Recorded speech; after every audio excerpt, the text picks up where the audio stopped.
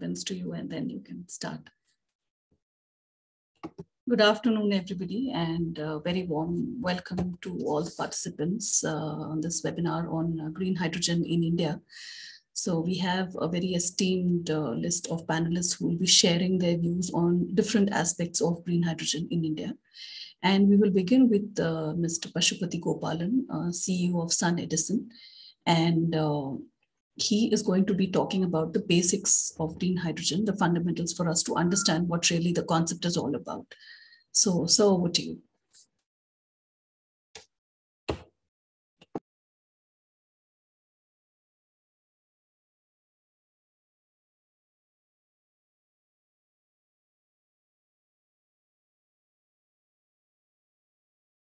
Sapna, how much time do I have?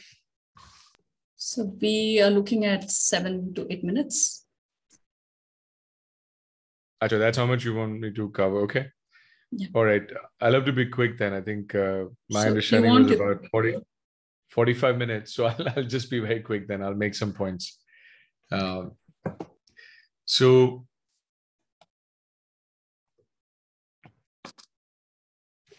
you know as we as we look at the country's energy policy there are multiple factors that we have to straddle and think about. Um,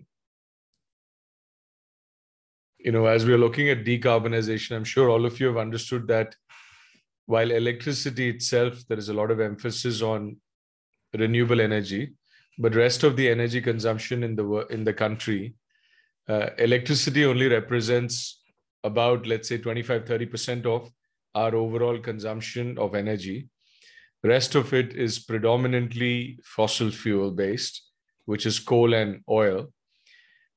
And as we as we think about transitioning to a completely decarbonized economy we have to worry about multiple factors. Economic growth is obviously very important. We cannot go backwards. Energy independence is important because we are importing significant amount of oil and other energy sources like ammonia and coal and if the country were to grow to five or seven and a half trillion dollars by this decade then those imports can doubled and tripled so which is very difficult for a country of our size. Uh, and clearly climate change is becoming more and more important. And what's going to happen is there is going to be intense pressure from the world. You know consumers everywhere are going to demand for greener products. And even if the countries don't want to i think it's going to become clear that the society is going to demand for greener products. The last but not the least is how do you preserve the existing infrastructure and assets you have? For example what do you do with the gas stations if you're going to completely switch to something different than gasoline uh, or oil? So those are some of the considerations that we have to think about. Um, i'm sure all of you know that india is the third largest emitter of greenhouse gases and we cannot grow the same way that perhaps some of the more developed countries have grown by using fossil fuel. And we really have to figure out a more green path to grow and keep our economy growing. I'll come back to this point about the support india needs to receive or ask for from um, other countries. You know when i when i think about india i think uh, and i think about this energy transition and the opportunity there are five pillars again some of this is quite common. Everybody will know. And and maybe power electronics something that you hadn't thought about. You know solar is clearly important and it's good to see that india is finally after nearly uh, a decade is taking steps in the right direction to create a domestic solar manufacturing ecosystem and do the needful for that. Uh, It still doesn't go deep enough to create substantial capacity on polysilicon and silicon wafers. Uh, but uh, nevertheless, it's a very good start. I think where we have been lacking is solar rooftops. I think uh, India does not realize that there is probably a half a terawatt or close to 500 gigawatts of capacity possible if we were to set up solar rooftops in every roof in the country. Some countries, the penetration levels are 10 times more than India. Globally, there is about you know 300 plus gigawatts of solar rooftop already, and India is lagging far, far behind. I think India probably does not even figure in top 10 nations when it comes to solar rooftop. And everywhere I go, I do ask for the policymakers to look at it because uh, when you spend money on solar rooftops, you can avoid the upgrades and expenditure to transmission and distribution systems because solar rooftop deliver energy where the consumers are present and can use.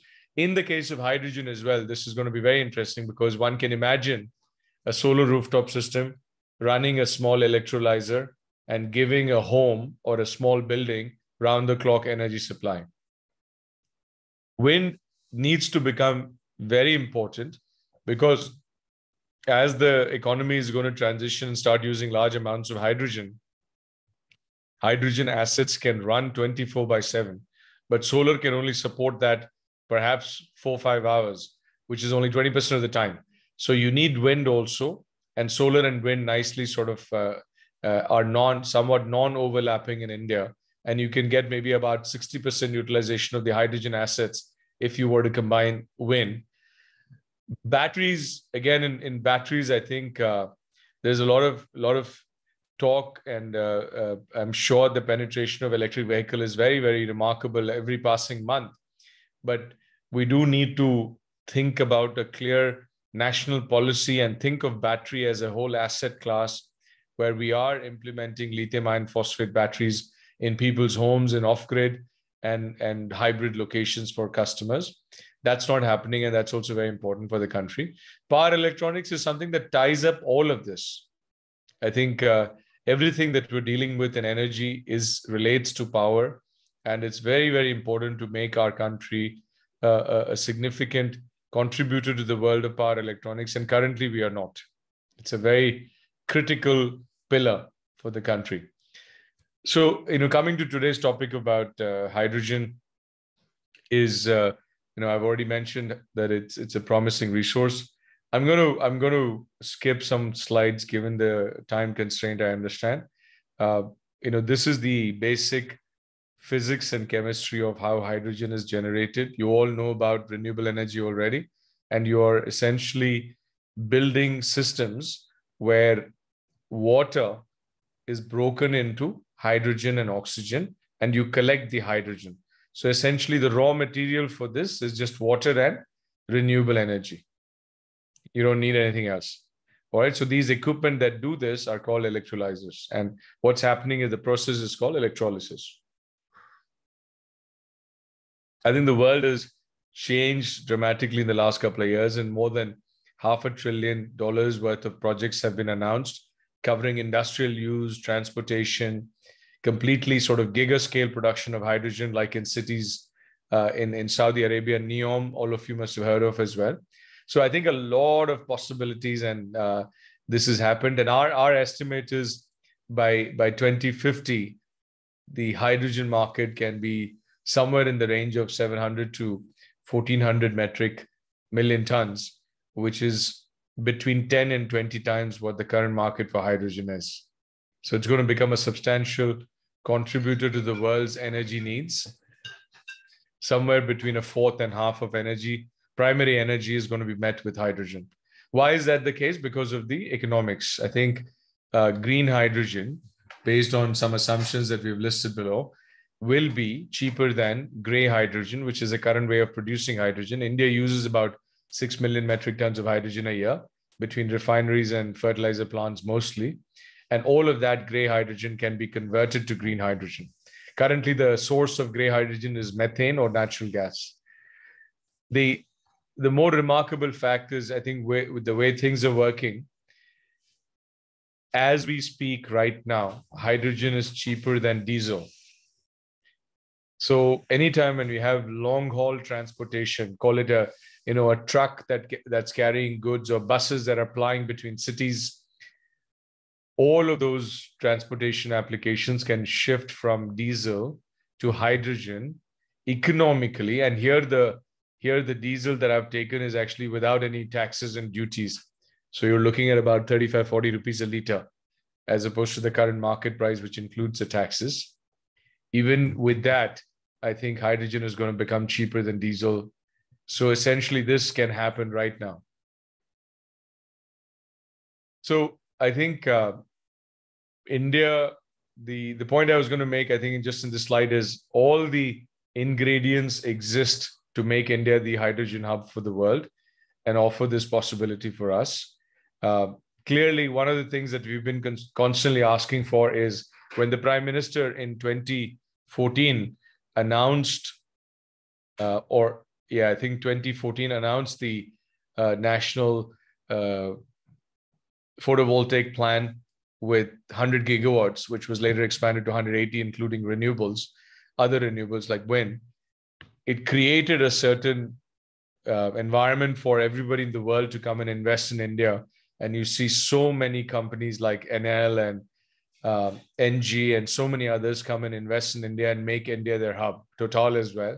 So I think something similar to that has to happen where we need to have a, a reasonably aggressive goal, which will send the signal to companies like Toyota and Hyundai to come in and make this market an important market for them. As some of you may know, Toyota already has a a third generation hydrogen car called Mirai. Uh, and um, and some they've they've brought a couple of those cars into India, but the whole point is for them to make India an important market where they come and promote this and work with the likes of Indian Oil Corporation and BPCL and HPCL to create the hydrogen gas stations. So you know we've laid out different targets which might be interesting, but the whole point is uh, India we believe can can can develop and build its hydrogen industry to generate about 20 million metric tons of hydrogen by 2030 uh, and and about 5 million metric tons by 2025 and uh, 5 would essentially be nearly 75 80% of the gray hydrogen market is converted to green hydrogen in some of the some of the applications which are pretty straightforward with hydrogen is um, uh, in refineries gray hydrogen is used which can be converted to gra- green hydrogen um, and in uh, ammonia production, which is used for fertilizers, green hydrogen can be used. And also, wherever natural gas is being used, one can blend up to even 20%. And that's, that's what the studies show to hydrogen and still use the existing assets of natural gas, which is a hydrogen blending. The other interesting applications, of course, are you know steel for example, if new steel capacities are being built in India, should we not be building them with hydrogen? You know, Sweden, Sweden and many other countries have, have been working on it, but Sweden's already proven that one can make hydrogen steel. Uh, and if there is going to be a demand for green steel market led by countries like Germany, I think uh, should we not be converting our capacities to hydrogen-based steel?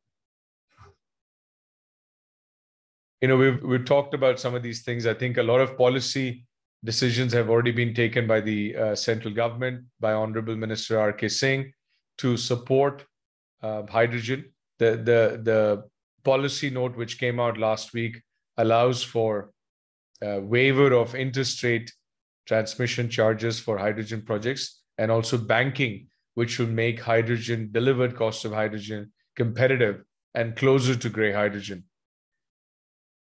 We've already talked about the signal point. I'll skip it. This is an interesting point, and as journalists, I think you all can make a huge difference here. Now, as the world is as the world is working hard to decarbonize and reduce the climate change impact, one has to think about this is a problem that's facing the whole planet. It's not just India, it's not just China. The whole planet is being affected our existence is being challenged. In that case, if our existence is being questioned, the country boundaries and border don't make any sense. We have to unite as one single world.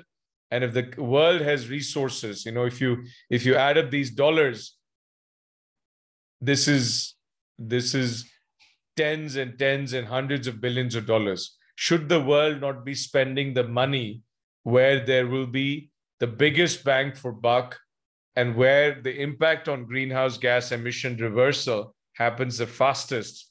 And if you think about it, you can each one of you can do your own further research based on everything we've done. If someone has a dollar to spend to reduce carbon emissions, we believe the right place to spend that money, India will rank very, very high on that list of priorities. And the world should be giving money to India so that India can grow without dependence on fossil fuel and, and, and make an abrupt and rapid, aggressive transition to uh, decarbonizing the economy. I mean, it's it's one thing. I'm sure the political leaders have uh, they have to be concerned and they they make promises of 2070. But I think in reality, if the developed nations were to support India, this can happen a lot faster.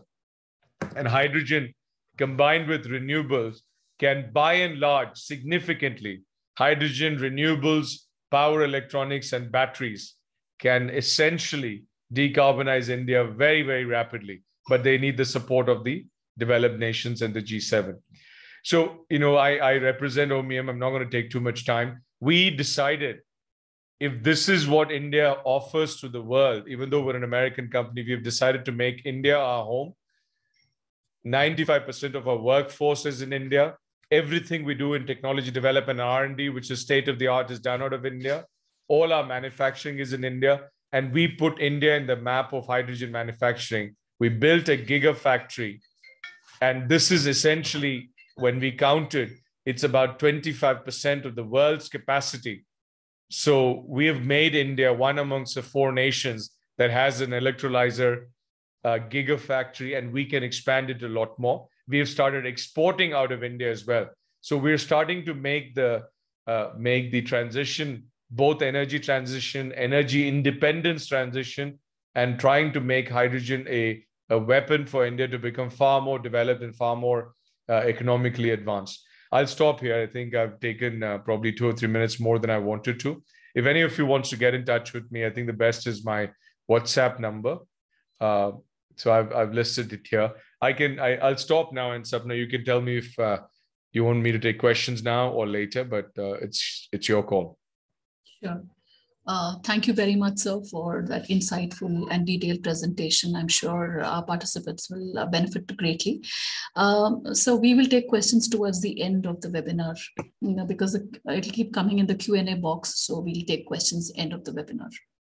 So we'll go on, move on to our uh, next uh, speaker meanwhile. Our next speaker is uh, energy economist Ms. Vibhuti Garg, and she is the India lead at the Institute for uh, Energy Economics and Financial Analysis, also called as IFA.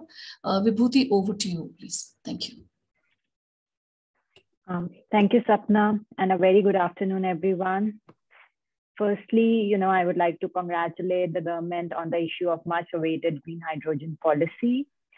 Uh, India has been kind of a late starter in solar module manufacturing and even electric vehicles, and we kind of missed the golden opportunity to kind of drive the cost advantages of economies of scale. However, with the deployment of green hydrogen, India is kind of ensuring that the building blocks are ready in place for a hydrogen economy and the idea is not only to meet its domestic needs, but also to kind of become an export hub, which is like uh, not only we'll be able to uh, support our, our decarbonization goals for the hard to abate sectors, which are in like fertilizer manufacturing, oil refining, or others.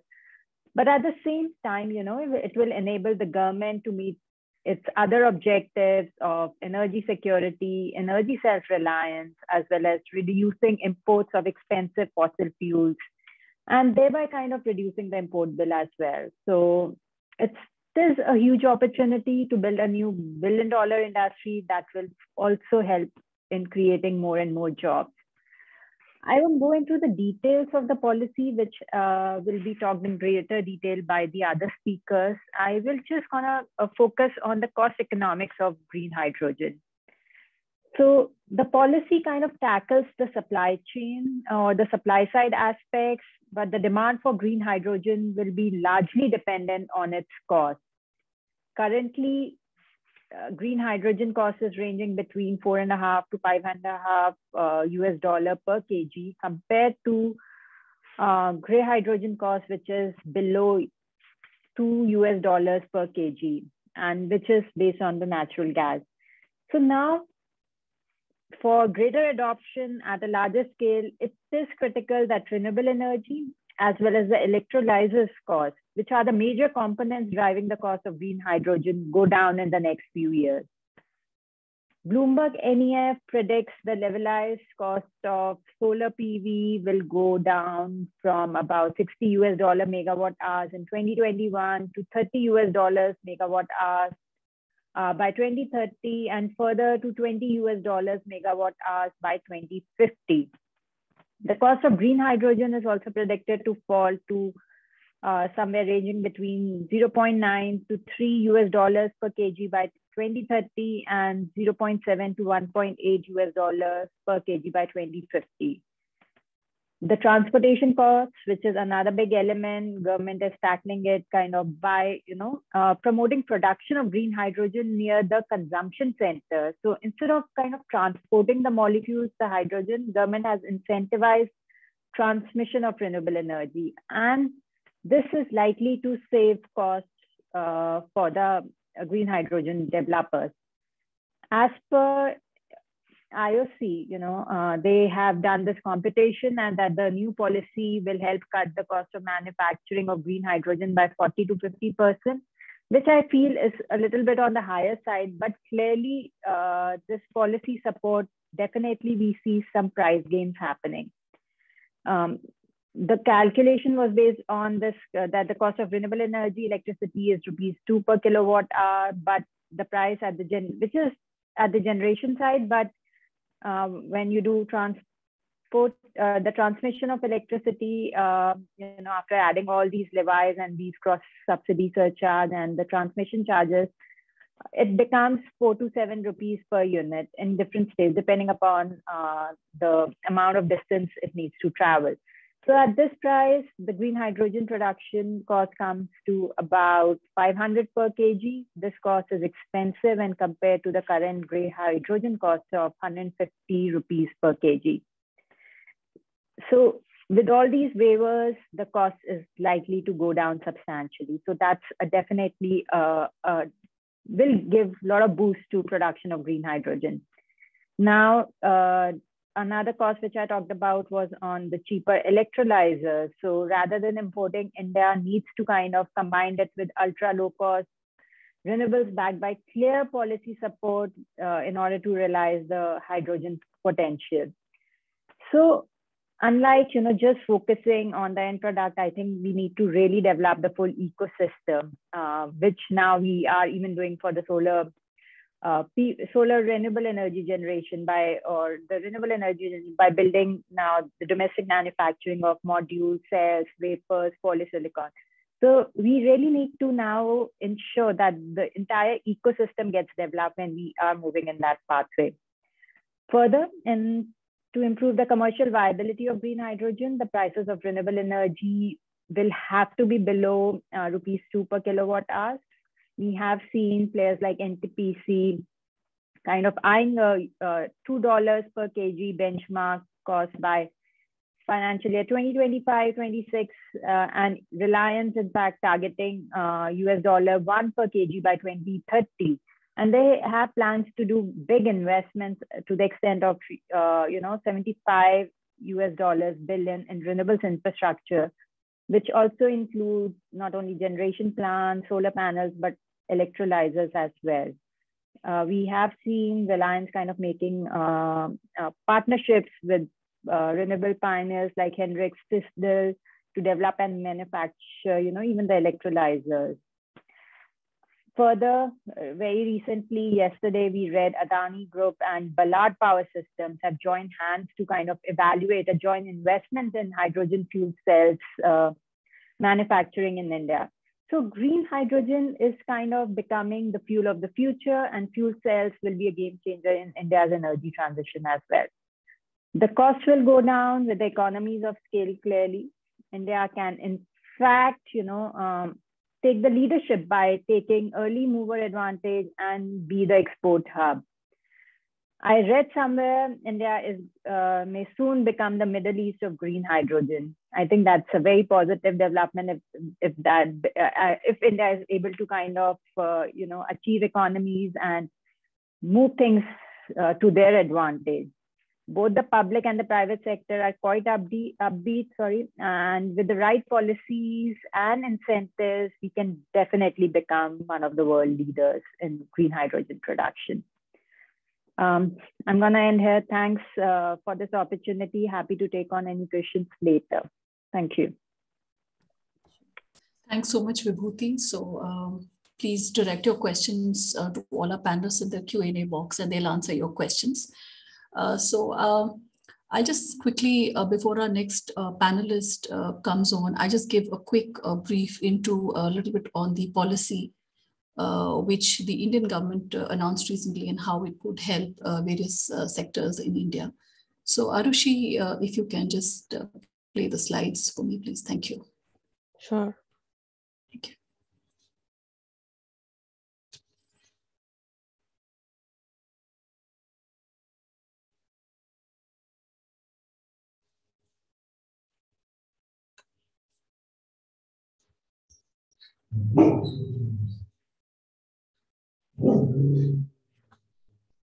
Okay, thank you. So as we all know, uh, we are speaking about uh, green hydrogen and how it is possibly the fuel of the future. Uh, so please, the next slide, Arushi. So um, this uh, policy that was announced re uh, recently uh, is being looked upon as being extremely good for the renewable energy sector because it promises cheaper renewable power for one. Also, as uh, Mr. Pasupathy pointed out in his presentation, he also mentioned about the fact that there is fee waiver for interstate power transmission for 25 years and for projects that have been commissioned before June 2025. Uh, additionally, uh, the land in RE parks uh, is likely to help local industry uh, wean themselves off fossil fuels. So uh, can we move on to the next slide, please, Arushi? Thank you. So it is also being looked upon as uh, the great enabler. So because uh, green hydrogen, as mentioned earlier by uh, Mr. Pasupathy, is devoid of any greenhouse emissions. And be it the automobile or the steel or the refinery industry, there are no emissions whatsoever.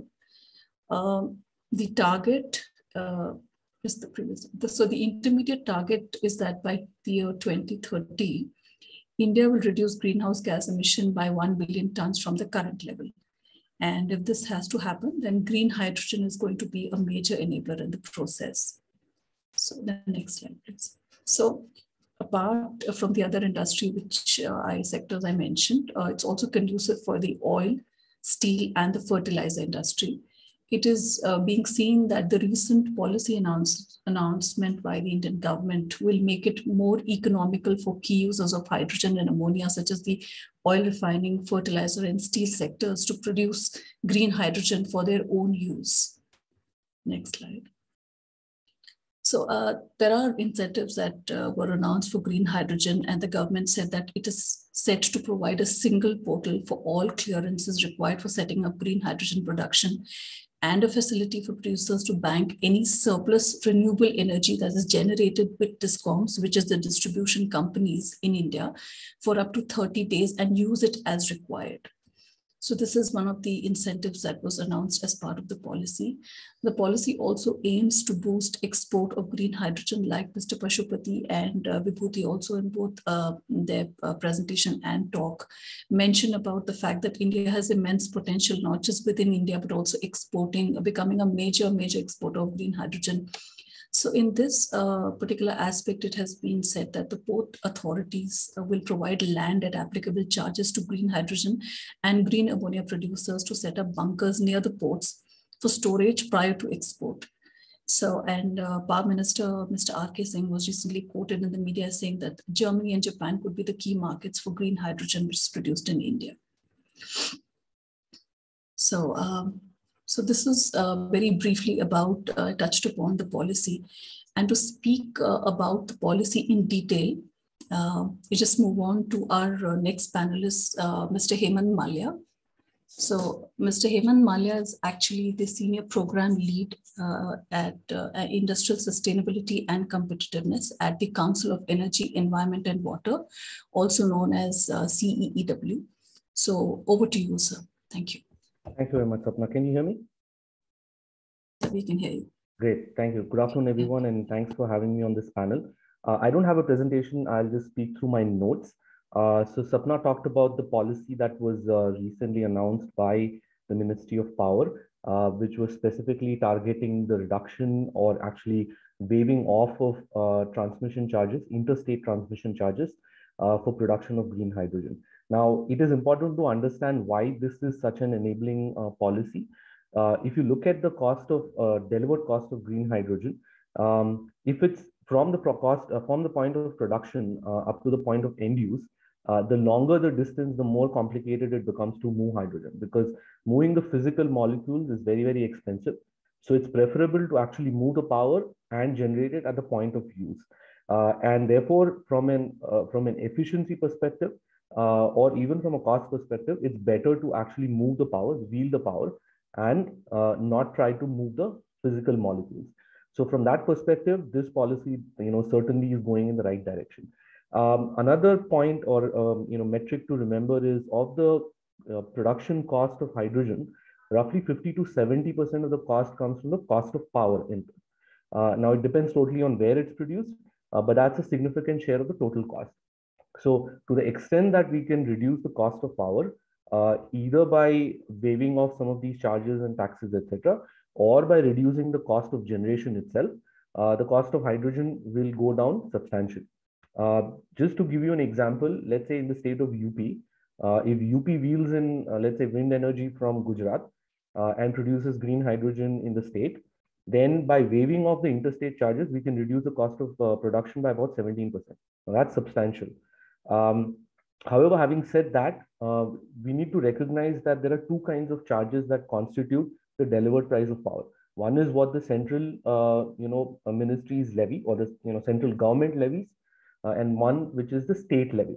Uh, what has been waived in this policy is the central, uh, you know, what we call open access charges, which is a charge to move between uh, power between states. Now, any state that does not have good quality renewable energy uh, will have to depend on other states to wheel power. So in this case, what will happen is the interstate charges are waived. However, this intrastate, meaning the state, uh, you know, specific charges, I have not yet been waived, right? So uh, that is still going to be a, a part of the total cost. Uh, and the other point is that uh, it is up to the individual states to allow for that power to be wheeled. So although the uh, central government has waived the charges, a state can still decide that it does not want to move the power to produce green hydrogen, in which case uh, the policy gets blunted. Um, also, there is a significant disparity in the charges that states levy. For example, uh, you know, UP has the lowest uh, open access charge at about 25 paisa, whereas Maharashtra has about 2.3 uh, rupees per unit. So there is a almost you know multiplier of 10 uh, difference there. So this can result in disparity in the production cost of green hydrogen, and that can be problematic because it will completely distort the market in the longer run. So the states need to think about how do they enable uh, or further enhance the policy that has come from the you know central side uh, otherwise, you know, it could be problematic in terms of the ecosystem development. Um, the other point that was a part of the policy is what we call banking. Uh, banking essentially means that uh, during the day, you know, in the case of solar or in the night, uh, in the case of wind, um, the power generation is not a flat line. So you see ups and downs. If there's a cloud, the power production goes down in the solar, you know, park uh, and so on and so forth. So the power generation is you know constantly uh, changing, and the electrolyzer may not be able to take all of the power. So if there is excess power, then the power, uh, the hydrogen producer or the you know uh, renewable energy developer can supply the excess power into the grid and bank it and then take it back from the grid at a later point when that power is necessary. So uh, that is also a very uh, important aspect of uh, reducing the cost of uh, hydrogen uh, production cost because the more you can bank, the smoother the operation of the electrolyzer and the higher the efficiency of the electrolyzer, which will positively uh, impact the reduction in the cost. Um, from our quick analysis, back of the envelope, we believe that if there is no cap on the amount of power that can be banked, uh, and there are no charges for banking, then the cost of hydrogen can come down by up to 40%. Now, it totally depends on the state and, and uh, uh, other factors, but all other things being equal, you know, you can uh, generate a substantial reduction in cost. Uh, so that's about banking. Um, one quick point to note about the policy is that the policy, uh, the waiver for interstate charges is you know limited to all projects that are in operation by 2025. Now that's slightly problematic because you know we anticipate it will take another year or two before uh, projects uh, are put in place.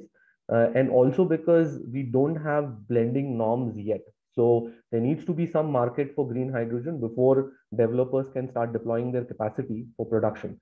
Uh, however, we don't see that market yet. So it could be another two, three years before that market is created. Uh, and by that time, you know, we'll have only one or two years where the interstate charges uh, uh or waiver is available. So from our perspective, that 2025 timeline should probably be moved to something like a 2030, uh, which will make the policy uh, a little bit more favorable uh, in terms of um, you know the offtake of green hydrogen in the longer term. Uh, so that's what we have seen in terms of the policy that has already come out. Uh, however, there is a lot of confusion as to what that policy is because the title suggests that it's the main hydrogen policy, but it's not. What it is is an enabling policy. The main mission document is still pending. So we can hope to see some uh, more, um, you know, uh, incentives uh, and market creation, uh, you know, measures uh, which will come through the mission document. Now, based on what has been publicly said by the ministries in charge uh, and the ministers in charge, uh, we can see two, you know, we hope to see at least two major policy initiatives. One is, of course, the market creation. So you can have a lot of uh, excitement uh, at the supplier end, but unless there's a market, you know, the capacity will not get deployed.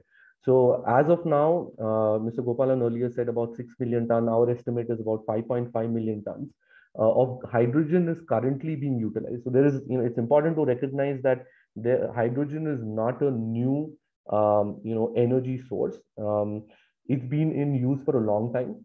Uh, right now, it's primarily used as a feedstock uh, in refineries, fertilizers, and petrochemicals, uh, and a little bit of methanol. Uh, and that is probably the easiest to displace, easiest being a relative term. But that quantum is something that we're already using. And so market creation needs to happen to displace this existing use of hydrogen, which is gray hydrogen with green hydrogen. And separately, market creation needs to happen for new uses of hydrogen, which is where earlier it was mentioned, you know, steel is one and mobility is probably uh, another area where hydrogen might find uh, usages. So that market creation will come through policy because right now green hydrogen is much more expensive than incumbent fossil fuels. So some kind of nudge or you know requirement is necessary for that displacement to happen and then to for the scale to build up. Um, so we can hope to see some form of uh, blending norms uh, for these existing users. Um, so they're right now using natural gas to produce hydrogen. So there will be requirements to uh, incrementally displace the gray with the green, uh, as well as there's the intent at least to um, blend some amount of green hydrogen in natural gas, uh, be it uh, in the form of compressed natural gas or natural gas that flows into pipelines and comes to our homes as cooking fuel. Uh, so some amount of um, uh, hydrogen will be blended there, and that will also create some market. So that's something that we can hope to see. Uh, another major policy um, announcement that we can expect is uh, what is called the PLI scheme. So we have seen multiple PLI schemes coming from the government in the semiconductor space and the PV space. Uh, there's one expected for the electrolyzer uh, manufacturing space as well. Uh, the exact construct is, you know, of course, not yet known. Uh, but uh, hopefully that will enable manufacturers to deploy capacity, you know, quicker than uh, the natural evolution of growth. Um, apart from that, you know, the mission document will hopefully also have some amount of support in terms of uh, R&D or developing standards, etc., which are essential, although not a uh, central, uh, you know, glamorous part of a mission uh, document or a policy document. They're essential for actually the market creation and ecosystem uh, development. So these are things we can hope to see in the coming weeks uh, when the mission document is actually released. Um, so that's about policy. But in anyone working in the policy space, you know, we have a saying, uh, the devil is in the implementation. So we can have great policy, but if the implementation falls off the cliff, then uh, we'll have serious problems. Uh, and the, the problems can arise in multiple ways. For one thing, there are several operational challenges. Um, be it, for example, fertilizer plants. It's not only about hydrogen, but you also need, you know, carbon dioxide uh, for making urea. And that carbon dioxide currently comes from the fossil fuels that they're burning, mainly natural gas, uh, or be it refineries, which are using uh, steam methane reformers.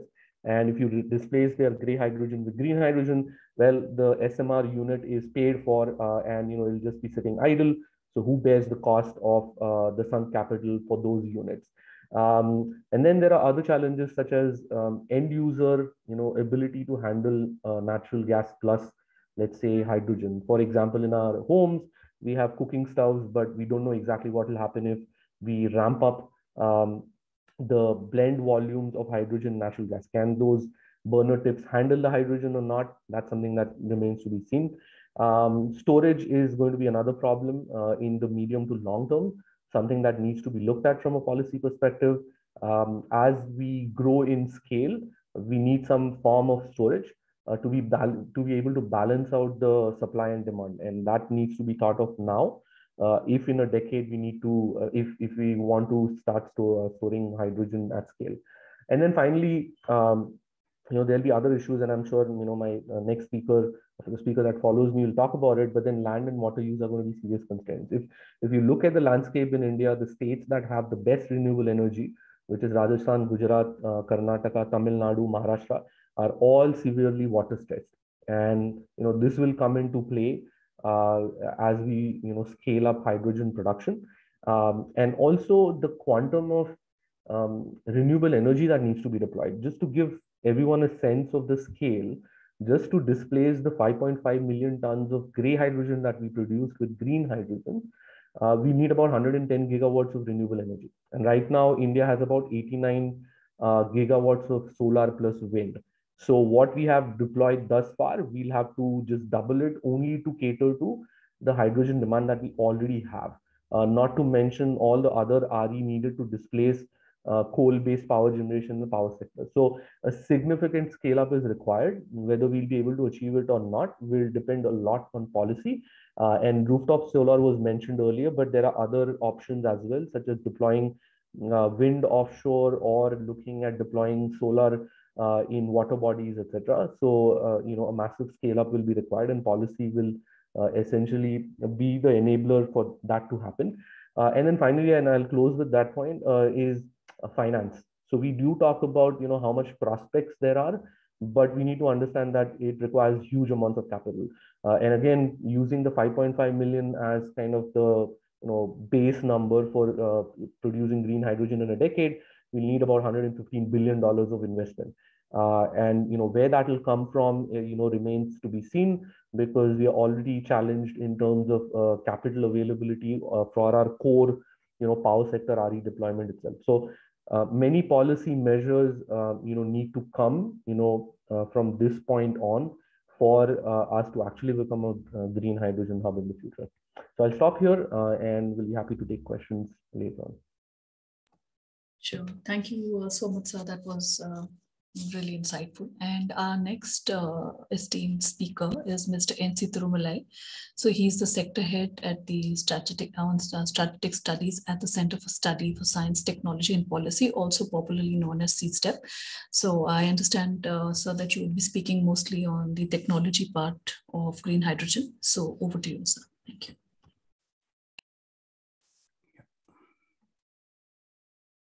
So Good afternoon. I hope uh, everybody can see my screen. Yes. Hello. Can. Yeah, we yeah. can see you. So, uh, thank you. Thanks. Uh, thanks for this opportunity to uh, share some thoughts on uh, uh, the whole concept of green hydrogen. And at CSTEP, we are undertaking a sort of internal study to look at the sort of a macroscopic analysis of hydrogen economy in India.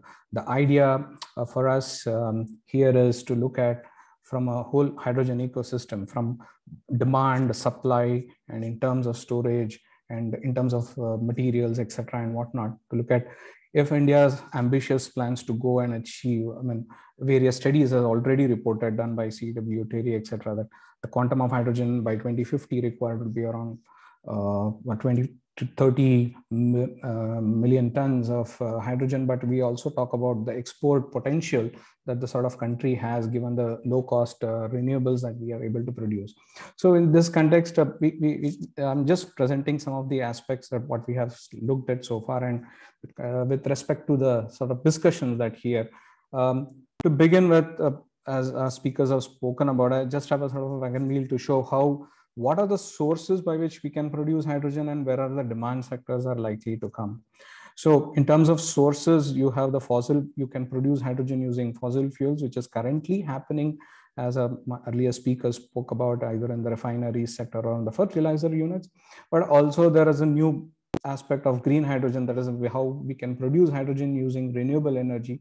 So starting from a biomass to solar pv or any wind energy that can be used and using the electrolysis method hydrogen can be produced. And there are also people who are thinking about using nuclear electricity as it's a fossil free energy so hydrogen can be produced. Currently in terms of demand areas where we see hydrogen currently is again in the refineries and the uh, petrochemicals, refineries, petrochemicals, and the fertilizer industries predominantly. But going ahead, as my previous speaker spoke about, how do we create the demand in a sense? But these are the areas where uh, hydrogen application can be seen. But the question is how cost effective this can be. So in terms of demand areas, one big area that is always speak, spoken about when it comes to hydrogen is steel in a sense it is one of the hard to abate sectors as they call it.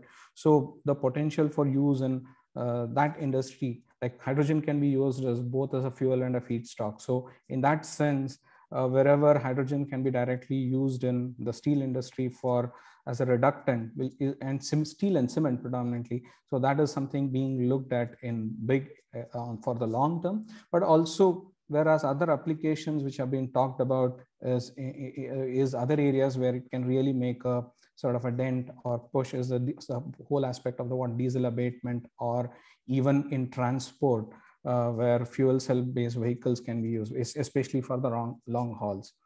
So going ahead uh, with respect to India, uh, I've just put a sort of given the potentials, what is the sort of abatement potentials it can have. And, and uh, sort of the first part of this talks about in the near term immediately how we can use and what is the sort of abatement potential hydrogen can bring about. So fertilizer re refineries approximately are able to currently, which are using the SMR technology, if adopts green hydrogen, it can reduce the CO2 emissions to the tune of around 57 million tons of CO2 on an annual basis uh, my previous speaker spoke about the city gas distribution, the whole aspect of blending. That is an immediate area where already where certain areas or in certain cities, uh, city gas distribution where you have the pipe network, they can be thinking about the blending of the hydrogen aspect of it. Um, another uh, uh area for, I, we believe that um, on the near term, once the hydrogen production uh, is ramped up, is the whole aspect of diesel abatement. India, if I'm correct, uh, uh in 2019 or 2019, uh, used uh, uh, produced around 5 billion units of electricity using diesel. So diesel is a, as you are aware, diesel is a sort of a pollutant, whether it's uh, in cities, especially where large apartments are there, and most of them use diesel gensets and various other off-grid applications also. So the potential in terms of abatement is around 3.5 million tons. And I, as I spoke about the steel part of it, uh, uh, Uh, uh, uh, it's again, that's as a reductant which is used.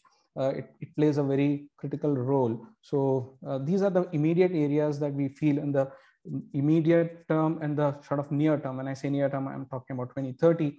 These are the immediate interventions that can happen apart uh, and other areas that which I showed in the previous screen in terms of other, it could be the power sector or as a, uh, as a storage in the power sector or even other uh, applications uh, might happen once certain technologies are sort of becomes cost effective uh, once proven. So um, I'm going to also talk about, uh, given that we, we have this target and there have been talks about 1 million green, 1 million ton of green hydrogen to be produced.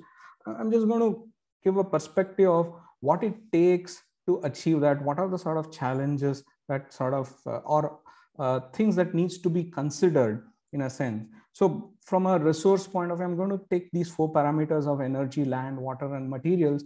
And uh, just to give a perspective, energy in terms of for every million ton of green hydrogen produced, uh, we might need around 55 to 60 billion units of energy. That means around 30 to 35 gigawatts of uh, RE capacity installed. So uh, the range also 55 to 60 and also uh, is, is dependent on uh, various factors. Uh, to just give a perspective what 60 billion units is, it's almost uh, in terms of Karnataka energy state as a Karnataka as a state energy consumption was around 2017 18 was around 60 billion units per annum. So that's the amount of sort of energy that will be required. Um, but having said that we have a big ambitious plan in RE and 500 gigawatt of RE plans is already being talked about. And also uh, at CSTEP we have undertaken studies to look at where sometimes excess RE capacity is available when there is peak sun, when there is peak wind and things like that. And what is called as curtailment happens. These units are asked to shut off and things like that. So, but however, here's an opportunity. In terms of numbers, what we saw was uh, as per a study done by CSTEP only for the southern region. Uh, we, we have a now an all India grid, but just for the southern region, it was just around uh, the four or today five states. Rather, uh, uh, the capacity, the peak capacity at one instant was around 53 gigawatts of capacity had to be sort of shut down or curtailed. So in terms of, there are various such instances uh, where you will see the RE capacity being excess and not used. So here is an opportunity where we believe hydrogen in these cases, whether it could be an in situ production at the local uh, place itself or transmitting to other state wherever hydrogen production is happening would be something of interest.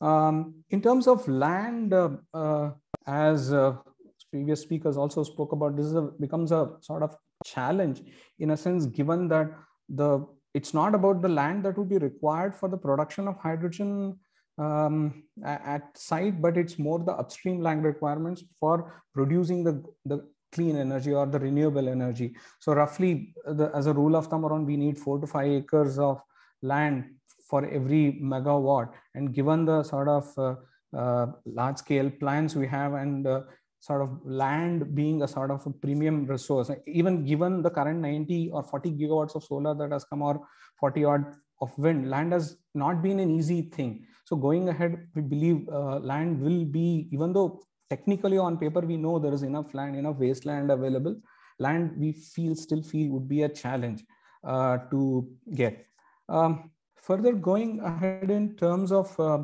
water uh, uh, the, the, the, the number what we understand is around the feed water that goes into the electrolyzer for production of uh, hydrogen is around around 9 liters for every kg of hydrogen and when it translated to 1 million tons, we need around 9 million cubic meter of water to be given. But this is the feed water, but the raw water that is that, that this feed water, the raw water that is re required will be approximately one and a half to four times considering the kind of water that we are using because it has to be treated and used in the uh, electrolyzer. So four times is for a number when I'm when we are looking at desalination uh, or seawater being used, but two times when we are trying to use the groundwater or any surface water available. Now, again, uh, if you if you are to compare to sort of where this stands with existing thermal power plants or something, this is slightly higher to the current uh, uh number in terms of the power uh, thermal power plants use. Finally, uh, I'm going to talk about the key materials. I mean, I, we know we have experts in production, producing production of electrolyzers here with us. Uh, but we see considering the sort of uh, material demand and the sort of dependency that we need to have if we need to make these uh, materials. For example, nickel in alkaline electrolyzers, uh, our understanding is around a thousand tons is required for every megawatt of uh, electrolyzer needs to be produced. Uh, similarly, the metals like platinum, iridium, roughly around 300 to 700 kg per gigawatt, and rare earths like zirconium and yttrium for the solid oxide electrolyzer cells would be on the order of five to seven tons per gigawatt of electrolyzers. So again, the sort of ecosystem that needs to be created in order to ensure that there is a smooth supply chain of these materials from wherever, or even do we have the reserves or the resources to address these needs to be uh, carefully considered. And uh, given that we have ambitious plans, a sort of a groundwork would be imperative to look at from a resource point of view and a stable supply of all these things would be warranted for. Finally, I have not talked about uh, uh, storage part of it. Uh, it's always a tricky question in a sense, in situ production versus transportation. Uh, still, a lot of R&D would be required, whether it can be uh, store or transport hydrogen easily, or it would be uh, in situ production would be cost effective. Those are the aspects that one needs to be carefully consider depending upon the demand centers where hydrogen is coming up and whatnot. So with this, I would like to stop here and happy to take any questions. Sure.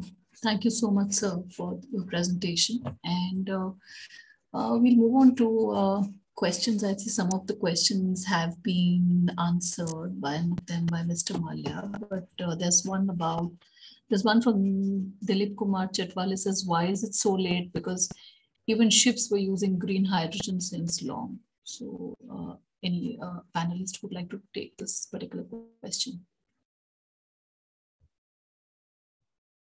I'm not sure if uh, ships were using no. green hydrogen for long, but someone else can correct me. I don't think anyone has been using green hydrogen. Um, no. Although in military applications, submarines have been using, uh, you know, some of it. But uh, I, I can be corrected. I know. no, I agree. I agree. To the best of my knowledge, it has been the diesel which has been the fuel for the predominantly for the ships. Mm-hmm. We, I have not heard, come across any green, especially green hydrogen being used Okay, there's one more from him itself. It says uh, one way of for policy for blending of ethanol to reduce emissions is with diesel. So have you taken emissions with 100% diesel? I mean, he's asking the quantum with blending. So I'm not sure what exactly he's trying to ask, but he's probably saying uh, blending with ethanol to reduce emissions. So can you verbally ask the question? That might be easier. Yeah, ethanol blending yeah. is more with petrol, if as my understanding is, uh, but uh, not with diesel to the best of my knowledge. We've been talking about ethanol blending E10, E8, and things like that, but not diesel though. But if I were to uh, understand, I mean, better to be and understand your question and answer it. So, um, so thank you, sir. So uh, if any of our participants have uh, questions, uh, you can either, uh, you know, verbally ask those questions or you want to put it in the Q&A box, uh, then you can do that. And there have been questions about presentations. So we will be sharing the presentations that were presented at the webinar today. We will be emailing them to the participants. So uh, some, some questions for that. So I hope I've answered that. So any more questions, so you can please ask I, our panelists. May I ask a question, Sapna? Sure, sure, Jay. Thanks. Uh, well, this is a question to whoever uh, of the panelists wants to take it. We have been having, in fact, it's gone up ever since the government announced its new green hydrogen policy. We've been having a whole rash of media coverage on it, some positive, some not so positive. And one of the things I think that's necessary is to look at what is not so positive and then look at if uh, how does one look at that? What the media reports which are not so positive. So one that i saw very recently was that the world moved away from hydrogen in the 1920s and 1930s after the hindenburg explosion. So why are we moving back to hydrogen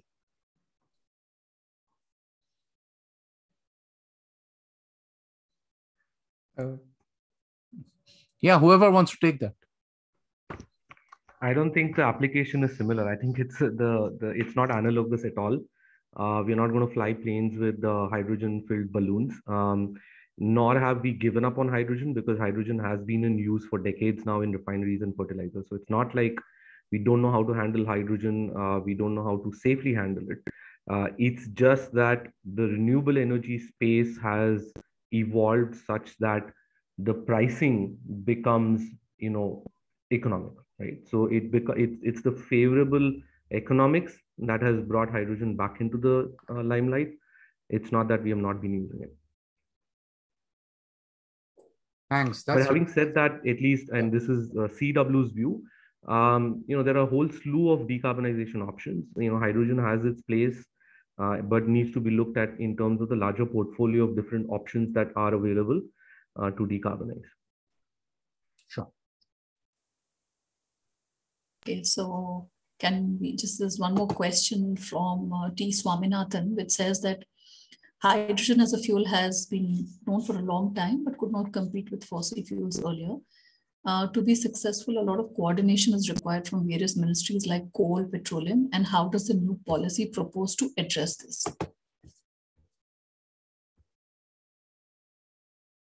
Sorry, can you repeat the last bit? How, policy proposed to what so, address what? So it says that uh, you know how how do various ministries how will they uh, coordinate to ensure that the policy is successful? Ministry of Coal, Ministry of Petroleum. So does it require like various ministries come together? So I think it's basically about. You want me to? I guess the answer is yes. Question? Sorry, I, I don't want to you know take all of the space, but you know just my view. The answer is yes, but I don't think any one of us here on the panel is qualified to answer on behalf of the government. But the simple answer is yes. I mean, the coordination is required because uh, as of now, energy is housed in different ministries, be it Ministry of Coal, MOPNG, MNRE, MOP, uh, to say the least, and some of the other uh, you know ministries such as DST. So yes, it will require some um, serious coordination between the ministries, not just central, but also, like I said earlier, at the state level, because uh, this is an interplay between the you know grid and uh, end users of, of, green hydrogen. So um, it, it's much more complicated than just a coordination at the central level. Thank you so much. So any of our other panelists who would want to add to this particular uh, question, I mean, uh, give some kind of a response? Mr. Pasupathy, Mr. Thirumalai, uh, Vibhuti has unfortunately I, I think, I think uh, my understanding is as far as the dialogue on hydrogen is concerned, including Niti Aayog, seven or eight different ministries have met many, many times. And uh, I don't know if it's officially formed and announced as a group of ministers, or um, I've used that word. I mean, I've heard of that word being used oftentimes in the topic of hydrogen.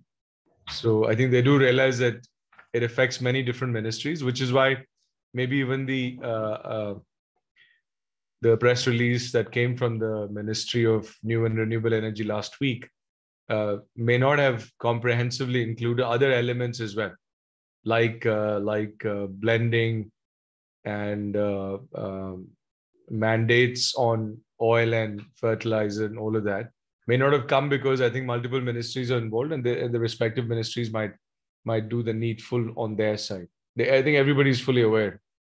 I mean, it, maybe the maybe it's not been announced publicly how the coordination is going to happen, but as far as I can tell and what I've known, they've all been working very closely with each other. Sure. Thank you so much, sir. Mr. Thirumalai, would you like to add something to that? Uh, no, no. I mean, do we move uh, to nothing the... much? Nothing much. Okay. speakers have spoken about it. Okay. Okay. So I, I just take one more question. Uh, it's from Rahul Modi. It says that uh, with module costs going up and aluminium procurement mandatory, how will the solar costs come down? I don't know why he's talking about solar when he's talking about green hydrogen. No, no. I, well, renewable comes from solar predominantly, so his question is still valid. I think. Look, uh, I think uh, India is obviously trying to do everything it can to create a domestic uh, uh manufacturing ecosystem for solar, which will probably have a negative impact on cost. We have seen that already. I think domestic content requirements in solar have ended up causing 5 to 10% increase in module which in some sense he's right because it goes against uh, you know our desire to reduce the cost of hydrogen. So i guess these are all sort of competing objectives. You know the government uh, you know to be overall energy independent we do need to have our domestic solar manufacturing. The domestic solar manufacturing is is far far far behind where china is today. I think india's cell manufacturing capacity is like few gigawatts while china is probably 100 times that right so we're going to have to catch up, and that economies of scale will reflect in the price of domestically manufactured solar modules being high relative to what one can simply import. So that's the price the government is is paying for having a domestic solar manufacturing, but they are paying for it in the sense that they are giving production linked incentive to try and close that gap and make it still competitive. Right. Okay. Thank you so much, sir. So I, I think that uh, that kind of does it with the questions that we have received so far in the Q&A box. I don't see any more questions. So uh, any more questions, if anybody has, uh, you can please direct it to us and we'll share it with, uh, you know, our speakers and we'll send it to them or we'll send you their mail IDs and you can send them a email directly asking your questions. Uh, as I mentioned earlier, the presentations which were given at the webinar today will be shared with the participants. Sapna, can so, I make one point? Sure. Is it possible?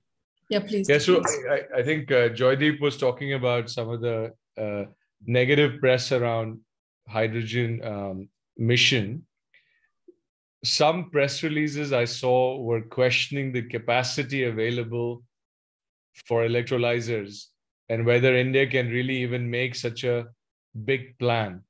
I, I think the problem is people are mentally trained by the gigawatts they hear in solar. The hydrogen manufacturing capacities can be built and expanded rather rapidly, and the capital expenditure is, is quite modest. Uh, you know, we built we built our gigafactory in four months and it started producing electrolyzers.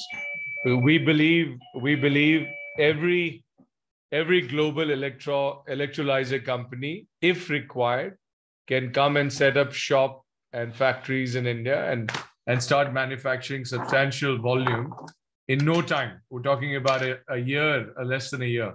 So it's not a big deal at all. It's going to depend on the policy. If the policy requires and supports domestic manufacturing, this can be done very rapidly. It's not an issue at all.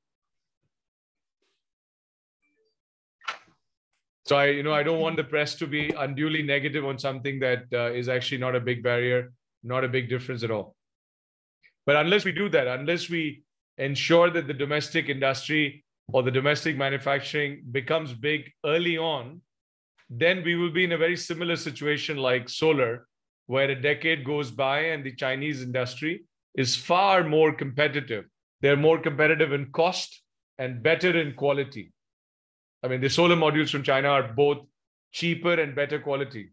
So then you then you have to you have an Herculean task to come back. Whereas in hydrogen, if we start early and give give India a chance to be the leader in the world without letting time go by, we can and we will be able to rise and make India the hub for hydrogen. Thanks, thanks so much. So uh, there was some query about uh, so from Pooja Bhattacharjee, which says how can we get in touch with the speaker? So we will be sharing the contact information and email IDs and PPTs as I mentioned earlier. So I hope that answers your query, Pooja. And um, somebody else is uh, this uh, participant called Kinley Dorji and he says that he's a master student from Green Energy Technology. He wants to learn with Ohmium about electrolyzers. So I, will share his number and details with you, Mr. Sure, sure. I've taken I've taken his number. We'll connect okay. with him. Thank you. Okay, okay. So thank you. So uh, any more questions, we'll uh, direct them to the uh, panelists directly through their mail. And uh, I would like to take this opportunity on behalf of all my colleagues and uh, you know uh, helped us put this uh, together this webinar. Thank you so much to all the panelists for their insight into uh, this concept which we are hearing, but we are not very familiar about. We're still learning about it. So thank you so much for your time and for all the details that you've shared with us. And uh, so on this note, I would like to uh, say goodbye and wind up this particular session. Thank you once again. Thanks. Joydeep, any, uh, yeah, I just asked my no, colleagues, Joydeep and no, no. if they would like to say something more. No, that's fine. That's fine. Thanks, thanks a lot to all panelists. Thanks to you, Sapna, for moderating this so ably. And thanks to all participants for participating on a very news heavy day. Bye, everyone. Thank you, Joydeep. Thank you. Thank you. Thank you.